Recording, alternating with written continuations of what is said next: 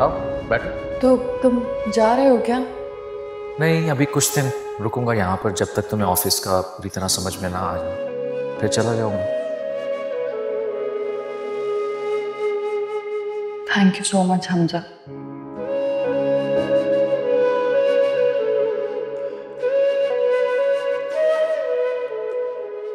तुमने इतने दिन इतने अरसे तक ये सब संभाल लिया वो भी इतने अच्छे से। अगर तुम ना होते तो शायद बाबा का बिज़नेस कब का बंद हो चुका होता रानिया अपनों में क्या शुक्रिया?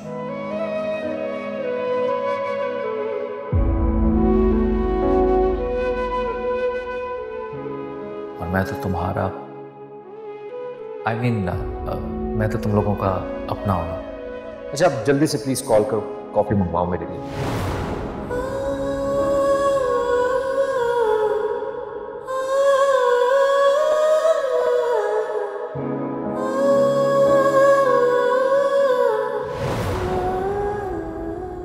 जेलस नहीं हो रही हूँ बस जनरली एक, एक बात की है तुमसे।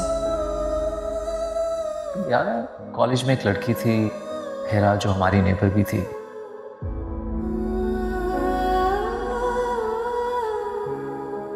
कितनी पागल थी मेरे पीछे।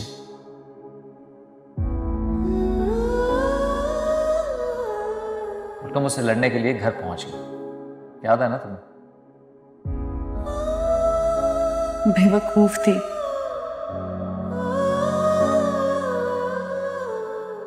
बेवकूफ़ लड़की ही तो मुझे पसंद थी।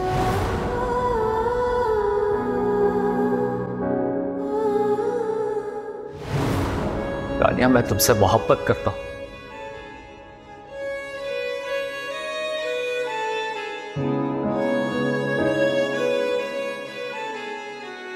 उसका क्या करूँ? हमसा गेट आउट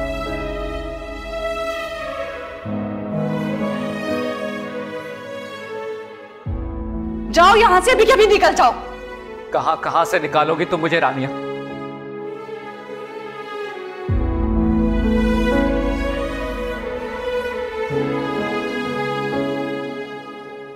दिल से, दिमाग से।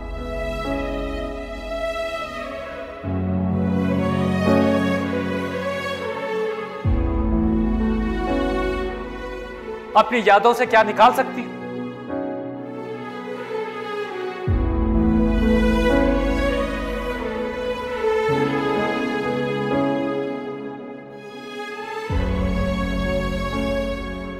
घास से निकालोगी तुम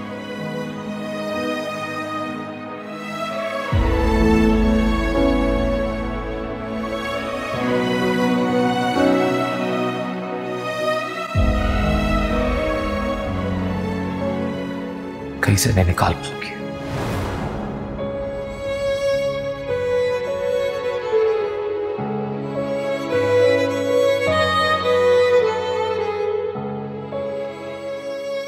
पाओगी तायमी मुझसे इतनी इनसिक्योर क्यों है? मुझे क्यों खतरा समझती हैं ये?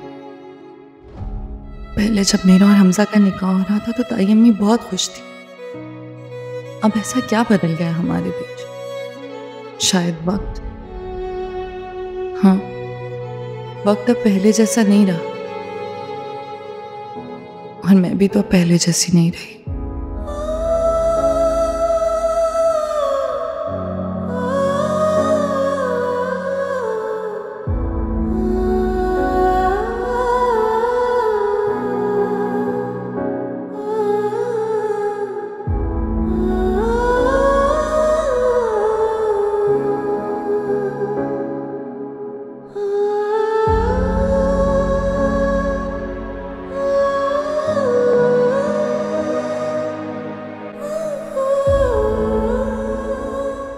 अस्सलाम वालेकुम भाभी कैसी हैं आप? जी अल्लाह का शुक्र है। हाँ जी वो भी ठीक है। भाभी आप भी कमाल करती हैं। इतनी जल्दी थोड़ी फैसले होते हैं। हाँ लेकिन वो लोग तो अच्छा चलिए छोड़ें आप आ जाएँ हम मिलके बैठ के बातचीत कर लेते हैं। ठीक है अल्लाह हाफिज। तायमी थी हाँ। क्या कह रही थी? बस ये कह रही थी कि वो मिलना चाह रही हैं तो आ रही हैं भी थोड़ी देर। आजकल कुछ ज़्यादा ही नहीं आपसे बातें करने लगी हैं। रानिया एक तो वो तुम्हारे रिश्ते के लिए भाग दौड़ कर रही और तुम उनके बारे में इस तरह से बात कर रही हो। रियली क्या मसला है तुम्हारा? तुम जब भी उनके लिए बात करती हो तुम्हारे लहजे में ऐसा तंज क्यों होता है? क्योंकि मेरी माँ से ज़्यादा उनको मेरे रिश्ते की परवाह हो है तो हैरत हो रही है मुझे। शुक्र करो तुम्हारे रिश्ते से इनकार को उन्होंने अपनी अना का मसला नहीं बनाया। वरना लोग तो रिश्ते से इनकार पे अपना रिश्ता ही तोड़ देते हैं ऐसे लोगों से।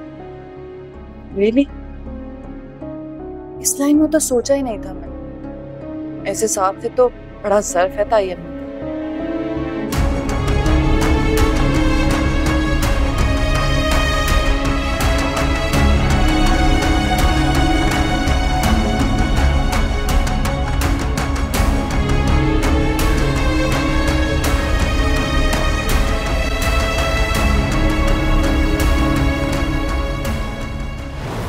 बकवास लोग हैं। आप आपने सुना नहीं था? सुना नहीं था वो दानिश के हवाले से कैसी बातें कर रहे थे?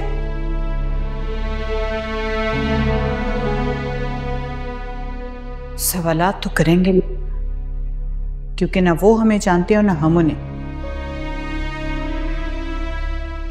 नो से वैसे ही तुम्हें मसला है। और गैरों में तुम्हें रिश्ता करना है तो फिर भुगतो। For God's sake, मम्मा बस कर दें। नहीं करना चाहती मैं हमजा से शादी। छोड़ दें इस टॉपिक को आप। मुझे शदीद गुस्सा है रानिया। तुम्हारे इस रवैये पे। चुपिए मुझे कोई फ़र्क नहीं पड़ता। आप अभी के अभी जाकर तायमी को मना करते कि हमारे घर में कोई दूसरा रिश्ते वाला नहीं आएगा। खत्म हो गई है ये बात। कोई नहीं आना चाहिए हमारे घर। जो करना होगा हम खुद कर लेंगे हम खुद देख लेंगे। ऐसा कौन सा तुम्हारा जाती मामला है जिसमें वो मुदाखलत कर रहा है? मेरी ज़िंदगी।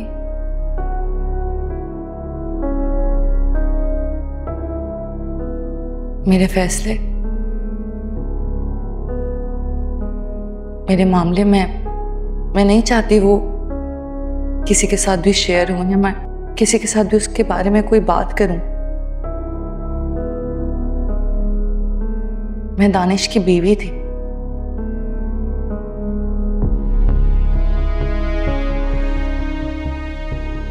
और अब उसकी बेबा हूँ।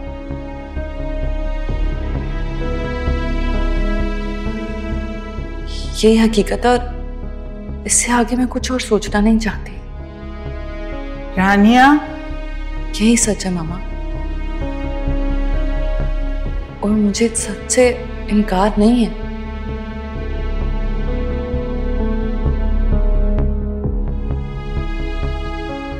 मैं जानती हूँ कि हर माँ बाप अपनी औलाद को खुश देखना चाहते हैं। उसी तरह आप भी चाहती हैं कि मैं खुश रहूँ।